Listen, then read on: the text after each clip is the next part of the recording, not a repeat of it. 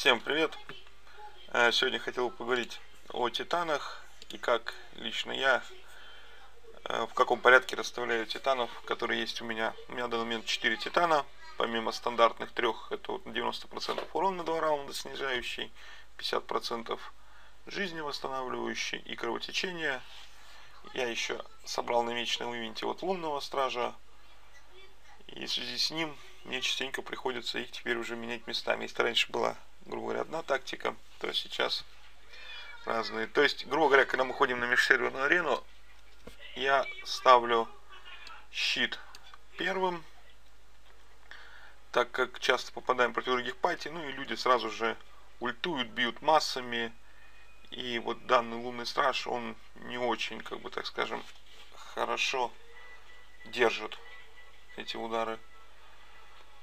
Ну и плюс не забываем, что этот идет массовый баф, то есть он накладывает на всех наших союзников, включая э, стражей.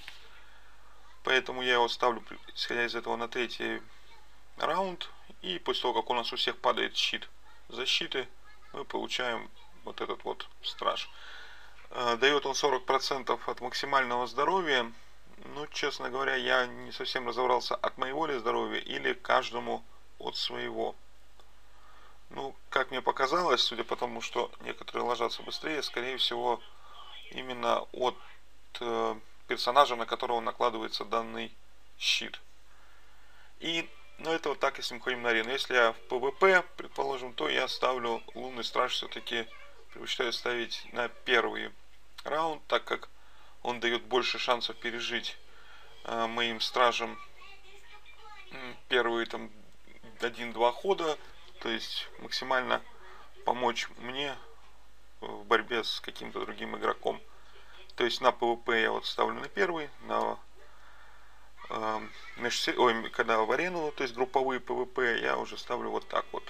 Ну, вот такие стражи. Есть тут идея, когда если возьму карту титана порядка, то его, наверное, я уже буду в таком порядке расставлять титанов. То есть первый я буду ставить, наверное, титан порядка, быстренько лезть в ватана. Ну, тоже в зависимости от ситуации. Ну, вот так я сейчас планирую. Потом уже все остальные э, бафы и титаны. Ну, на этом все. Всем спасибо. Всем пока.